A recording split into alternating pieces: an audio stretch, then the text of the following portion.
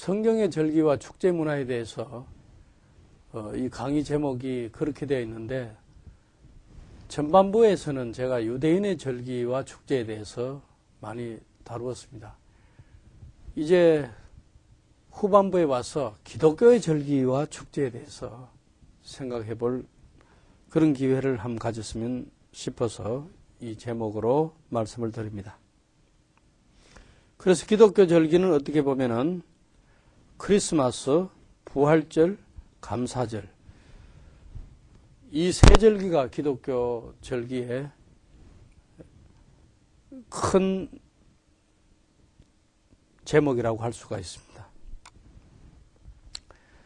이 사진을 보시면 여러분들이 예수의 탄생을 축하하는 크리스마스 사진이라는 것을 알 수 있죠.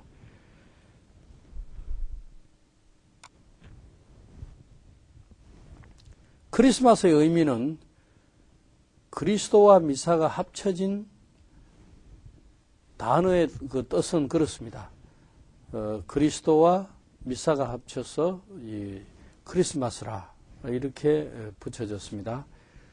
그리스도의 탄생에 대한 성서의 기록을 보면은 마태복음 1장, 누가복음 2장, 뭐 다른 데도 많이 있습니다만은 그리고 구약 성경에 특히 그 이사야서 9장 1절에서 7절에 예언되어 있습니다. 이사야서 9장 이 내용 안에서 살펴보면은 9장 6절에 이는 한 아기가 우리에게 낳고 한 아들을 우리에게 주신 바 되었는데 그 어깨에는 정사를 메었고 그의 이름은 기묘자라 모사라 전능하신 하나님이라 영존하신 아버지라 평강의 왕이라 할 것입니다. 그리스도를 하나님이라고 전능하신 하나님이라고 또 영존하신 아버지라 아, 이렇게 어떻게 보면 삼일체 하나님이시기 때문에 성부 성자 성령 우리가 이렇게 구분을 하지만은 디스팅처 구분은 하지만은 세퍼라처 분리해서는 안 됩니다. 어, 그리스도 자신도 어, 아버지에 해당하는 하나님이라 이렇게 이사야서 9장 6절에서 우리가 볼 수가 있습니다. 크리스마스의 전통을 우리가 살펴보면은 크리스마스 때 뭐 지키는 전통이 많죠.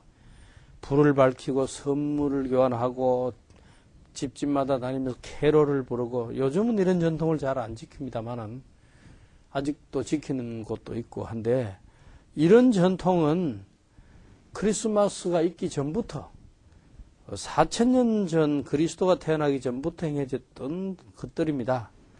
그러니까 그 당시 고대 사회에 행해졌던 축제 한 전통을 크리스마스에 도입한 거죠.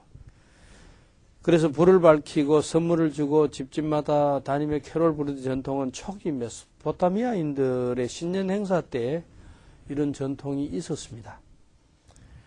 또 자금목 축제라 그래서 고대 메소포타미아인들은 여러 신들을 믿었고 물론 이 여러 신들 가운데 주신은 마르둑이었습니다. 메소포타미아인들은 매년 겨울마다 마르둑 신이 혼돈의 괴물과 전쟁을 치른다고 믿었습니다. 그래서 마르뚝이 이겨야 이 혼돈에서 질서가 온다. 이렇게 생각하고 이 마르뚝을 돕기 위해 신년에 10일간 축제를 행했습니다.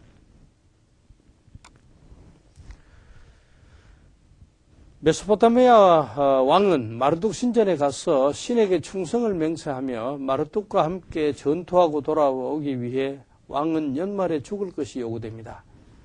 이제 이런 육체를 가지고 전쟁을 못하기 때문에 왕이 죽어서 이 마르뚝 신과 합쳐서 연합 전선으로 혼돈의 신과 함께 전쟁을 하고 돌아와야 되기 때문에 왕이 죽어야 돼요. 살아서 이런 몸으로 전쟁을 못하기 때문에 그래서 고안한 것이 왕을 죽이면 안 되겠죠. 그래서 왕을 살리기 위해 메소포타미아인들은 한 죄수를 선택하고 왕복을 입혀 가짜 왕을 만들고 실제 왕처럼 그에게 모든 존경과 특권을 부여하고 이 축제 동안에만 왕권을 부여하는 거죠. 축제 끝에 진짜 왕을 살리기 위해 가짜 왕의 왕복을 벗기고 죽였습니다. 이 사케아 축제라는 것이 또 있는데 페르시아인들과 바벨론인들이 가졌던 축제입니다. 노예가 주인이 되어 노예에게 순종해야 하는 지위 교체 의식도 축제 중에 있었다고 합니다. 사람 팔자를 한번 바꿔주는 거죠. 어, 희한한 축제들이 다 있었던 것을 보고 어떻게 보면 이런 축제들이 흥을 돋구기 위해서 어, 사람들이 그 축제에 참여해서 재미를 느꼈는지 모르죠. 그 다음에 태양축제는 초기 유럽인들은 악령과 무당을 믿었고 겨울에 낮이 짧아지고 밤이 길고 추울 때 많은 사람들이 태양이 사라지면 어떡하나 태양이 이러다가 없어지는 것은 아닌가 다시 태양이 돌아오지 못할 것을 생각하고 두려워했습니다. 그래서 밝고 따뜻한 태양이 다시 돌아오도록 특별한 의식과 축제를 행했습니다. 고대 그리스인들은 이 자그묵 사케아 축제와 유산 축제를 했어요. 그러니까 메소포타미아에서 행해지던 자그묵 축제와 사케아 축제 외에 유산 축제들이 그리스인들도 했다는 것을 알 수가 있습니다. 태양신 숭배를 살펴보면은 페르시아에서 출발한 미드라 교에서는 태양을 신으로 숭배했습니다. 태양이 태어난 날이 12월 25일 이 날을 성대하게 축하했어요. 이 로마 제국에서는 이 미드라교의 영향을 받아가지고 로마인들이 이때 농업의 신 사투르누스, 사툰을 축하하기 위해 12월 중순에 시작해서 1월 1일까지 사투날리아라는 축제를 행했습니다. 거리의 가면 무도회와 축제 음식과 친구들을 방문하고 행운의 선물 교환 등을 했습니다. 이 로마인들은 월계수와 푸른 나무로 집을 꾸미고 촛불을 켜고 주인과 종의 위치를 바꾸기도 하고 로마인들은 이 축제를 즐겼습니다. 그러니까 유산 축제가 메소포타미아, 그리스, 로마 이렇게 행해졌다는 것을 알 수가 있죠. 이 기독교인들은 자기들이 이제 크리스찬이 된 다음부터 이 이교 문화 속에서 살아왔지만은 크리스찬이 되고 난 뒤부터는 이런 이교신을 경외하는 것을 가정한 것으로 생각하고 이런 축제하는 것도 가정하게 생각했습니다. 아기 예수의 탄생일은 이방인의 사투날리아 축제처럼 흥청대며 떠드는 날이 아니라 엄숙하고 종교적인 휴일로 지키기를 원했습니다.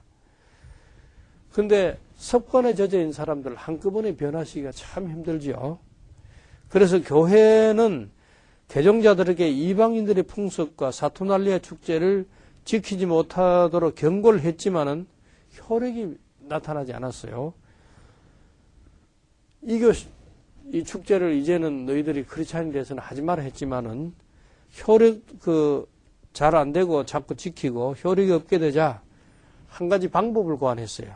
그것이 뭐냐 하면은 그 축제를 기독교 하나님의 아들을 축하하는 일에 맞도록 길들이기로 생각을 했습니다. 마치 기독교가 한국에 들어온 후 죽은 조상에 대한 제사를 처음에 기독교인들이 못하게 하다가 그것이 실효가 없고 그렇게 해도 자꾸 하니까 차라리 그날을 못하게 하는 것보다는 예배를 드리는 날로 바꾸자 하고 추도 예배를 드리게 된 것도 같은 맥락에서 우리가 생각해 볼 수 있는 문화적 변혁이라 할 수 있습니다. 로마 사회에서 기독교의 과제는 로마 사회에 주님이 되어 있는 태양신 대신에 예수님을 주님으로 바꾸어 놓는 것입니다. 가나안 땅에서 유대교의 과제가 어, 있었다면은 가나안 땅에서 주님이 되어 있는 바알신 대신에 야외를 주님으로 바꾸어 놓는 것이라고 우리가 말할 수 있겠습니다. 그러니까 그 시대에 오랫동안 지켜온 전통 축제 이것을 하루아침에 바꾸기 힘들면은 그 축제의 대상이 되는 신을 바꿔놓자는 것이었죠. 그래서 기독교에서 어, 태양신의 축제일을 크리스마스로 정하고 예수님을 그 축하하는 날로 어, 그러니까 축제의 모든 전통과 축제의 의식을 바꾸지 않았지만 그 주인을 바꿔놓은 거죠. 이것은 태양신을 축하하는 것이 아니고 예수님을 축하하는 것이다. 하고 오랫동안 지켜온 전통과 축제 이것은 그냥 묵인하면서 살리면서 그 축제의 주인을 태양신에서 예수님으로 바꾼 것이 크리스마스다 이렇게 볼 수가 있는 거죠. 우리가 이 사진을 보면은 예수님께서 눈물을 흘리고 우셨던 감남산 자리에 세워진 교회인데 이 교회 창문을 바라보면은 창문을 통해 예루살렘이 아주 잘 보입니다. 이 교회 안에 들어가서 제가 예루살렘을 보고 찍은 사진입니다. 이 창문에서 예루살렘 쪽을 바라보는 것은 동쪽을 바라보는 것이 아니고 서쪽을 바라보는 것입니다. 그런데 막상 이 교회 안에 들어가서 재단을 보면은 이 재단은 동쪽을 향하고 있습니다. 그래서 이 교회 구조를 보면은 이 교회는 예루살렘을 향해서 지어진 교회가 아니고 재단을 동쪽으로 해서 지어진 교회다는 것을 우리가 알 수가 있습니다. 여기서 우리가 알 수 있는 것은 초기 이 교회뿐만 아니고 대부분의 교회가 기독교회는 예루살렘을 향해서 지은 것이 아니고 태양이 뜨는 동쪽을 향해서 지었다는 것을 말씀드릴 수 있겠습니다. 초기 기독교인들은 예수 그리스도를 어둠을 비추는 빛으로 이해했습니다. 요한복음 1장 5절에 있는 말씀대로.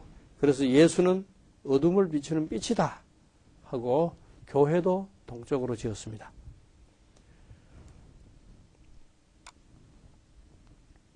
크리스마스 축제는 이방인들의 12월 축제를 대항해서 고안된 것이라고 볼 수 있습니다. 12월 25일을 축제일로 지켰던 로마인들과 페르시아인들처럼 그들과 대항했던 기독교인들도 사투날리아 축제 양식을 크리스마스 축제에 도입해서 촛불을 켜고 선물을 교환했습니다. 이방 의식을 기독교적 방식으로 길떠인 것이다. 이렇게 말씀드릴 수 있겠습니다. 그리스도의 정확한 탄생 날짜, 그것은 성경에 기록이 없습니다. 옛날 로마의 이교도들은 12월 24일부터 다음 해 1월 6일까지를 동지절이라고 해서 하나의 대축제적인 명절로 지켰습니다. 이때 하루 중 해가 가장 짧았다가 길어지기 시작하는 12월 25일을 동지날로 정해서 이날을 태양의 탄생일로 축하했습니다. 동지날 이후 해가 조금씩 길어지는 것은 어두움이 물러가고 빛이 세력을 얻어 만물이 소생해 나갈 수 있음을 기념한 것입니다. 동지를 그리스도의 탄생일로 채택한 것은 이제 로마인들이 섬기던 그 태양의 탄생일이 아니고 어, 세상의 빛이 되는 예수님의 탄생으로 바꿔놓은 것입니다. 로마 교회의 주교는 기독교가 이교도들을 정복했다는 의미에서 이교도들의 축제일인 동지를 그리스도의 탄생일로 채택을 했습니다. 그래서 AD 350년 로마의 주교 율리우스는 12월 25일을 크리스마스로 지킬 것을 선택을 했습니다. 개신교와 로마 천주교는 이렇게 해서 12월 25일을 크리스마스로 어, 지켜오는 것이 그때로부터 이어져 온 전통입니다. 그런가 하면 정교회, 이 정교회 안에도 러시아 정교회, 조지아 정교회, 이집트 어, 정교회, 곱틱 교회죠. 그 다음에 예루살렘의 그리스 정교회 등은 어, 줄리안 달력을 사용하기 때문에 1월 7일을 그들의 성탄일로 크리스마스로 지켰습니다. 그러나 그레고리안 달력을 사용하는 로마 천주교는 12월 25일을 어, 성탄절로 지켰습니다. 이 12월 25일이 줄리안 달력으로 1월 7일에 해당하는 것입니다. 그런가 하면 알메니아 교회는 크리스마스를 1월 6일에 지키게 됩니다. 그래서 베들레헴의 성탄절은 세 번 찾아온다. 첫째는 그레고리안 달력으로 12월 25일. 두 번째는 어, 알메니아 교회에서 말하는 1월 6일. 세 번째는 줄리안 달력으로 1월 7일. 이렇게 여러 교파들이 예루살렘에 들어와 있기 때문에 베들레헴에 와서 이 세 번 성탄절을 지키게 된다는 이야기죠. 크리스마스 축제는 과거 이교 문화의 축제 의식을 기독교의 크리스마스 축제에 어떻게 토착화했느냐 하는 문제보다는 메시아로서 아기 예수가 실제로 탄생한 것과 탄생한 아기 예수께 경배하고 예배하는 것이 더 중요하다고 생각이 됩니다. 4세기 이전에 성탄절 지킨 것을 보면은 2세기 때는 1월 6일을 주현절이라고 해서 예수가 태어난 날과 세례받은 날을 겸해서 지켰으나 현재와 같은 크리스마스의 축제는 지키지 않았습니다.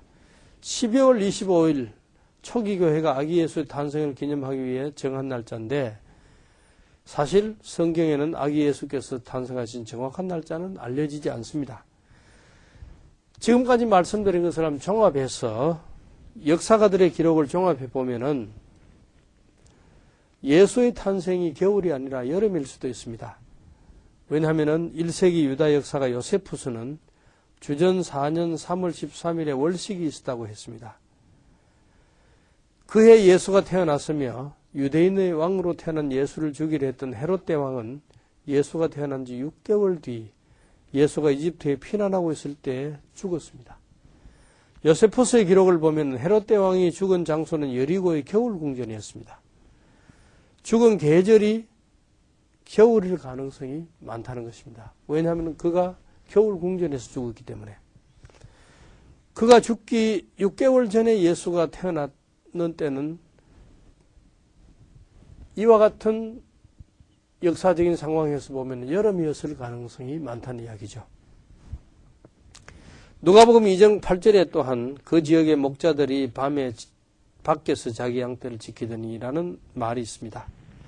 이 말은 밤에 밖에서 자기 양떼를 지켰다는 말은 베들레헴 지역의 겨울은 낮과 밤의 일교차가 굉장히 심하고 밤에는 매우 추웠습니다.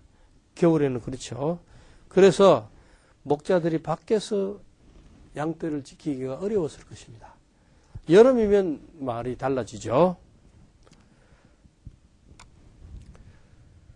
우리가 이 여름 궁전에 대해서 한번 살펴보면은 헤롯 대왕은 해발 800m 이상 되는 예루살렘과 베들레헴 앞 헤로디움에 여름 궁전을 가지고 있었습니다. 이 겨울 궁전은 헤롯 대왕과 유다 왕들이 겨울에 해발 800m나 되는 높은 곳에 그 바람이 센 곳에 위치한 예루살렘을 떠나서 해저 250m 되는 따뜻한 여리고의 겨울 궁전을 가지고 있었습니다. 시드기야 왕도 겨울 궁전에서 예레미야가 불러주는 대로 바룩이 기록한 두루마리 책을 면도 칼로 베어 화로 불에 던져 태우기도 했다는 말이 나오고 있습니다. 여러분들이 보시는 사진은 요르단의 마인에서 제가 찍은 것인데 헤롯은 병이 들어 죽기 전에 치료 효과가 있는 것으로 알려진 요단강 건너편 어, 지금 요르단 지역이죠. 거기 온천에 가서 온천을 한 뒤 여리고의 겨울 궁전에 와서 죽었습니다.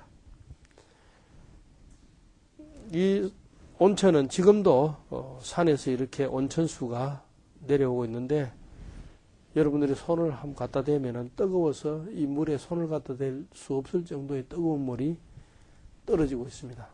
참 신기한 일이죠.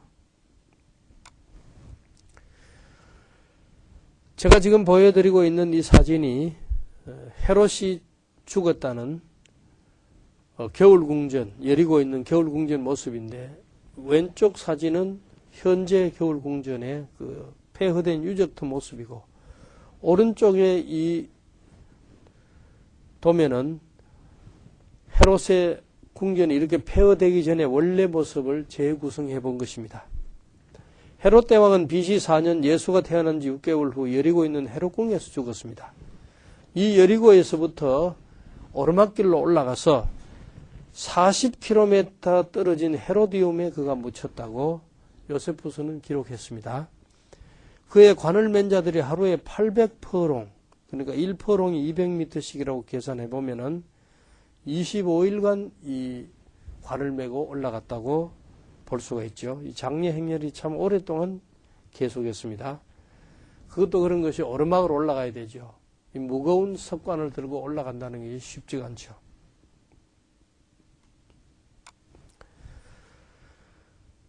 다시금 헤롯 왕궁을 보여드렸는데 이것은 제가 2008년 어, 1월 달에 예리고에 가서 헤롯궁이 있었던 그 틀을 찍은 사진인데 이 앞으로 헤롯 당시에는 강물이 흐르고 있었죠. 여기에 왕궁이 있었습니다. 우측 여러분들이 보시는 이 그림은 원래 모습을 재구성해서 그려본 것입니다. 여기 보시면은 어, 강물이 이렇게 흐르고 해로궁이 여기 있고 여기 수영장이 있고 이런 여리고의 모습이고 아마 예수님 당시에 예수님께서 여리고로 지나가셨을 때는 이 뒤편 이쪽으로 지나가셨을 겁니다. 그래서 여기에 사개오가 올라갔다는 돌 감는 나무도 있고 이 주변 이쪽을 통해서 지나가셨고 예루살렘을 올라가실 때도 이쪽 지름길로 도보로 가셨을 것으로 짐작이 됩니다.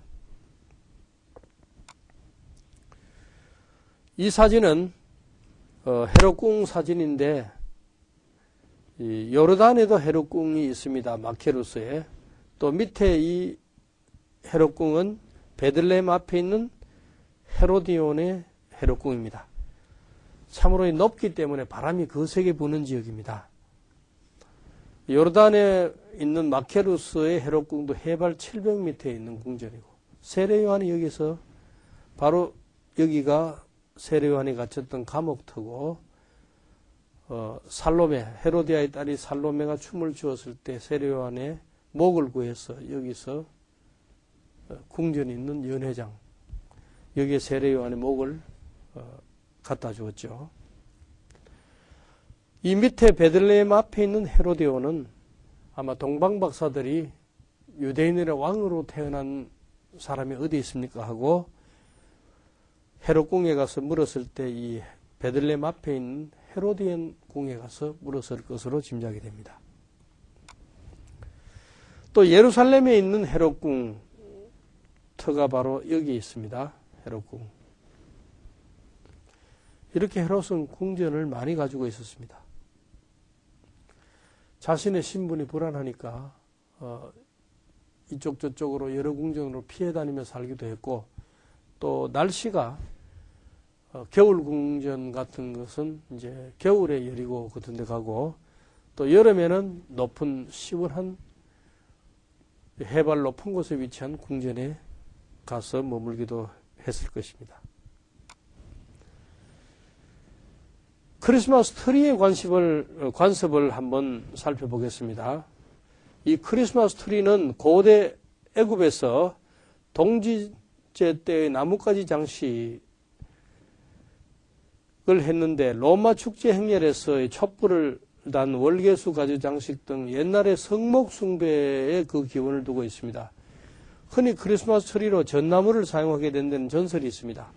8세기경 독일에 파견된 선교사 오디는 신성하다는 떡갈나무에 사람을 제물로 바치는 야만적 풍습을 중지시키기 위해 옆에 전나무를 가리키면서 이 나무를 가지고 집에 돌아가서 아기 예수의 탄생을 축하하라고 설교한 데서 비롯됐다고 전해지고 있습니다. 우리가 크리스마스를 앞두고 대강절을 지키는데 교회에서는 성탄전 4주일을 대강절로 지키며 예수의 탄생과 함께 장차 임할 예수의 재림과 심판을 기다리며 준비하는 절기를 대강절이라고 합니다. 참고로 한국 찬송가에 고요한 밤, 거룩한 밤, 어둠에 묻힌 밤은 번역이 좀 잘못된 것 같습니다. 영어 찬송가에는 Silent Night, Holy Night, All is calm, All is bright로 되어 있습니다. bright는 밝다는 것이죠. 예수님은 빛이고 빛인 예수님의 탄생은 어둠을 물리친다. 이런 개념을 초기 기독교인들이 가지고 있었고 또 이 동료를 지은 사람도 어, 그런 뜻으로 짓지 않았나 생각이 되는데 어, 이 동료가 우리나라에서는 왜 어둠에 묻힌 밤이 되었는지는 모르겠습니다.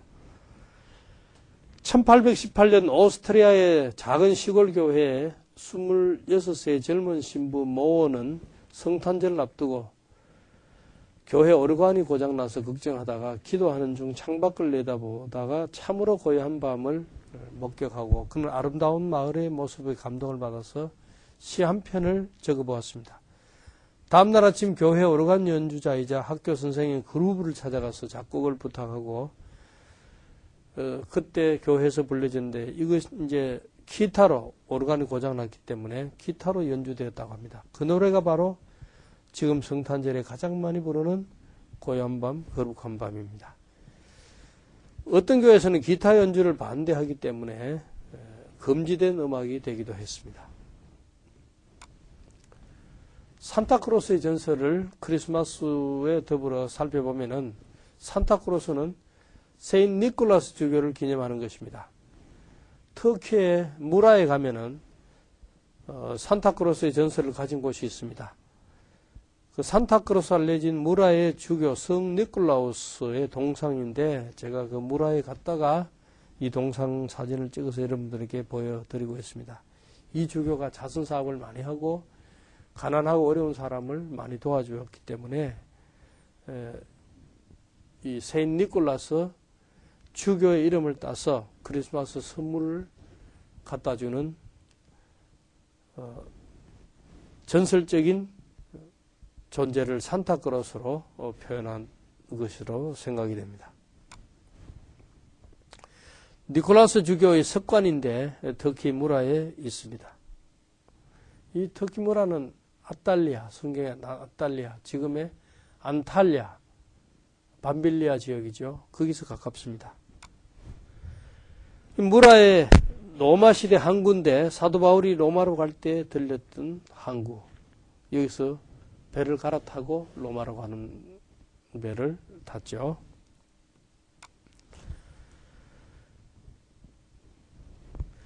이제 부활절의 역사에 대해서 잠시 살펴보겠습니다.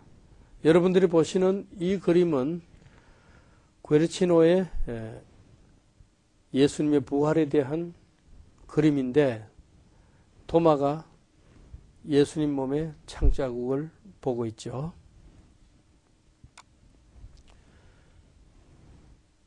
부활절은 하나님의 아들 예수 그리스도의 부활을 기념하는 축제일입니다. 이 부활절은 우리가 영어로 이스트라는 말이 스칸디나비아의 오스트라에서 나왔다고 생각이 됩니다. 그 튜토너의 오스틴이나 또 이스트레에서 왔다고 생각하기도 합니다. 오스텐이나 이스테르는 봄과 풍요를 나타내는 여신이었는데 충분의 축제가 행해졌습니다. 이스터의 뜻은 새벽의 어둠을 물리친다. 오스트라의 뜻은 봄은 새 생명이 겨울을 이기고 나온다는 뜻입니다. 히브리 전통에서 자란 초기 기독교인들은 부활절을 선지자들이 예언한 예수의 출현을 기념하는 유대절 축제의 새로운 양식으로 간주를 했습니다. 부활주일은 일단 어, 부활주일에 대한 것은 일반 달력에 확정된 날짜가 없습니다. 325년 니케아 회의에서 춘분 후 첫째 마늘 다음에 오는 주일을 부활주일로 정했습니다. 그러니까 일반 달력에 확정된 날짜로 뭐 우리나라 같으면은 어 3월 1일은 3일절이다. 뭐 이렇게 확정한 날짜 그런 것이 있는 것이 아니고 춘분 후 첫째 마늘 다음에 오는 주일 이렇게 됐기 때문에 해마다 그 날짜가 바뀌어질 수가 있는 겁니다. 그래서 서방교회 부활주일은 춘분 후 마늘 뒤에 오는 첫 번째 주일입니다. 따라서 부활주일은 빠르게는 3월 22일부터 늦게는 4월 25일까지 어, 해마다 유동적으로 오게 됩니다. 동방교회 부활주일은 6월절 축제일에 따라서 지킵니다. 그렇기 때문에 부활절은 상징적으로나 달력상으로 유대인의 유월절과 관련이 어, 있다고 보고 있기 때문에 동방교회에서 정하는 것은 어, 유대인의 유월절 축제일에 따라서 정하고 있습니다. 그 두 가지가 서방교회와 동방교회의 차이점이라고 할 수 있습니다. 사순절은 부활절 축제를 위해 회개하는 기간으로 40일이지만 사순절 기간에 있는 여섯 주일은 사순절에 포함되지 않고 부활을 기념하는 주일로 간주되어 사순절 금식일에서 제외시킵니다. 그래서 성회일에서 애시 웬스데이, 이 성회일에서 시작해서 6일간의 어, 주일을 제외하고 46일에 걸친 사순절 끝에 부활주의를 지킵니다. 그러니까 이 6일에 주일을 제외하면 40일이죠. 그 다음 우리 기독교에서 가장 거룩한 주간은 사순절의 마지막 종려주일에서 시작해서 예수님의 최후의 만찬, 십자가의 죽음을 포함해서 부활주일에 이르는 이 한 주간을 가장 거룩한 주간이다. Holy Week이다. 그렇게 이야기를 하고 있습니다. 부활에 대한 이방 신화들을 살펴보면은 메소포타미아의 신화 가운데 담무스가 야생 멧돼지에 의해 죽었는데 그의 어머니 세미라미스가 어, 눈물의 힘으로 담무스가 봄에 식물의 형태로 다시 살아났다고 하는 그런 신화가 있습니다. 이집트 신화에 보면 오시리스가 세트에 의해 죽음을 당했는데 이시스의 도움으로 다시금 살아났다고 하는 신화가 있습니다. 이 부활에 대한 이방 그 신화, 뭐 전승 이런 것을 살펴보았습니다. 그럼 기독교의 부활로 돌아가서 기독교의 부활제를 만든 신학자들이나 어, 기독교의 부활제를 만든 신학자들이 메소포타미아나 이집트의 허무맹랑한 신화를 빌려와서 만들었는가? 그것은 아니라고 봅니다. 실제로 부활한 예수를 기념하는 절기로 어, 만들었기 때문에 의미가 있는 것이지 메소포타미아나 이집트의 허무맹랑한 신화를 빌려와서 만들었다고 생각하지는 않습니다. 그래서 어, 사람들 중에는 기독교를 아주 공격하기 위해서 어, 이 부활에 대한 신화는 메소포타미아 신화에도 있고 이집트 신화에도 있고 이것을 기독교가 가지고 왔다 이렇게 말하는 사람들이 있기도 합니다. 또 실제로 그렇게 만든 사이트들이 막 요즘은 인터넷에 올려져 있습니다. 우리 기독교가 전통적으로 가르친 것처럼 실제로 부활한 예수를 기념하는 절기를 부활절로 만들었는가? 이것은 우리가 생각해 보면은 알 문제이지만은 특히 중요한 것은 부활에 대한 현존을 느끼는 겁니다. 누구든지 부활한 예수님을 만난 사람은 이 두 가지 질문에 대해서 어느 쪽이 올바른 질문인지 해답을 가지고 있습니다. 그래서 중요한 것은 부활에 대한 믿음은 부활한 예수님을 실질적으로 만나는 경험을 가지는 것이 중요합니다. 이 경험을 가진 사람들은 이런 질문에 대한 것들이 다 사라지게 되는 것이죠. 지금 여기서 어, 강의가 말로만 진행해 와서 상당히 지루한 것을 느끼게 될 것입니다. 이제 베토벤의 합창곡 가운데 환희를 우리가 한번 듣고 마지막 제 강의를 하고 마무리 짓겠습니다.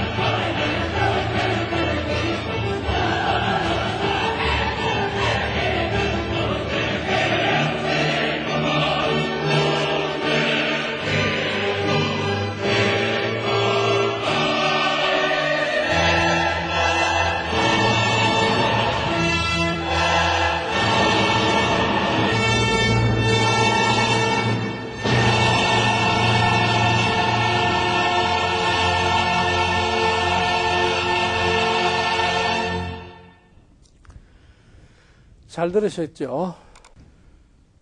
감사절의 유래를 말씀드리고 이 강의를 마무리할까 합니다. 감사는 인간과 자연 등 하나님의 창조의 모든 영역에서 감사가 이루어져야 합니다.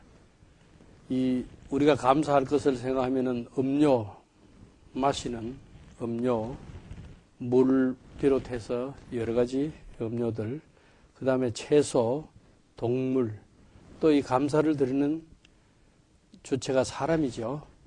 이렇게 어, 모든 자연 영역에서 이 감사를 하나님께 드리게 됩니다. 그 다음에 우리가 하나님께 제사를 드릴 때도 네 가지 요소를 합쳐서 드립니다. 성경에 있는 제사를 보면 소금, 또 곡물, 소재지요. 동물, 번제지요. 또 제사를 드리는 사람, 제사장. 이렇게 해서 자연의 영역 모든 분야에서 하나님께 감사드리고 또한 하나님께 구약에서 제사 드릴 때도 이 모든 영역에서 감사하며 제사를 드렸다는 것을 볼 수가 있습니다. 감사절의 유래를 보면은 구약 성경에 있는 것은 이 초실절, 초실절,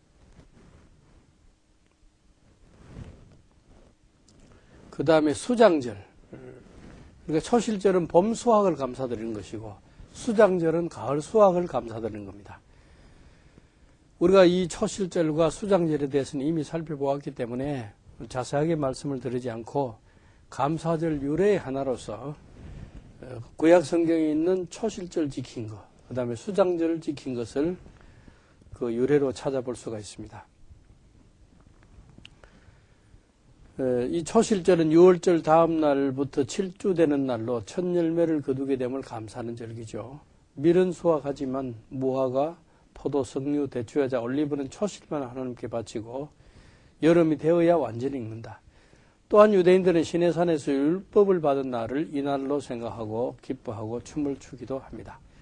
수장절은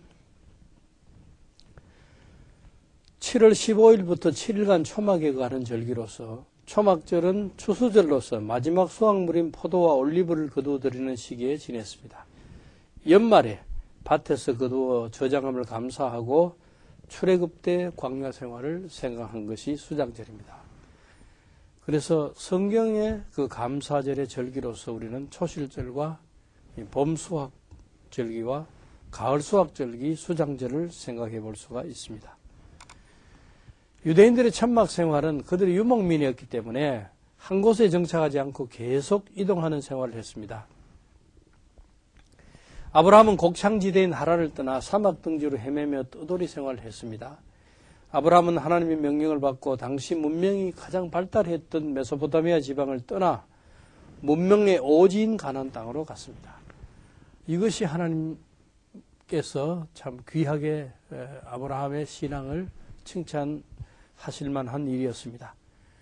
우리가 오늘 또 뭐 유학을 가든지 이민을 가든지 하면은 더 나은 데로 가야 되죠. 왜 더 발달되고 더 문명 국가에서 미개국으로 가겠습니까? 더 못한 데로 갈 사람은 아무도 없죠.